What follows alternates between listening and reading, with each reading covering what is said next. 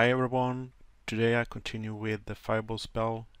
Just a short video how to implement collision and what you need to think about if you use C Sharp. Let's talk with the fireball.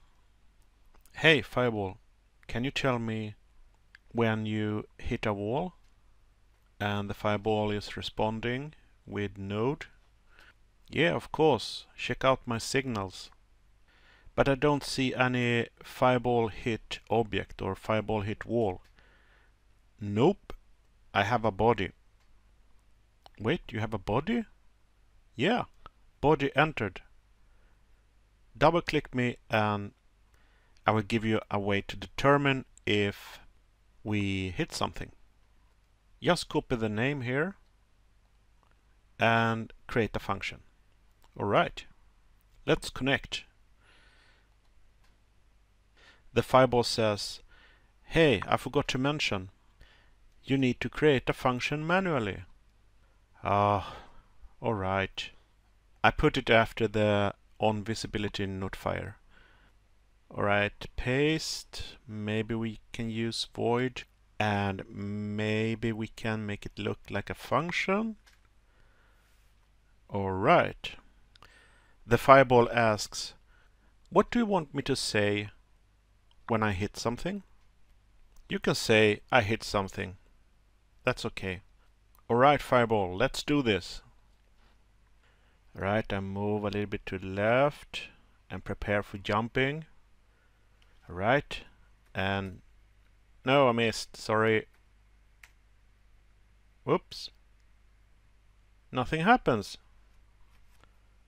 The fireball says, Oh, I forgot to mention. You also need to include an argument. Uh, what argument? Well, check the body entered. Do you see it says body colon node? Yeah, but how do I do it with C Sharp? Well, you simply add node as a type. Alright, I have node as a type. Alright, and then add a variable name. Alright, smurf. It's a good variable name. Let's try this. Right, preparing, and jump, shoot. Let's see. I hit something. Awesome. It works. Hey, Fireball, this is really cool. How do I kill you? Wait, you want to kill me? Yeah. Alright, you can use QueueFree but it's not nice. Don't worry Fireball. When I click tab, I will spawn you again. Oh, that's cool. I didn't think about that. You're right. Alright Fireball, are you ready? Let's shoot! Ooh! This looks strange. Yes it does, doesn't it? You could add a different animation. Yeah, maybe I will later on. Thank you, Fireball. Bye bye. Alright, so this was the end of this video.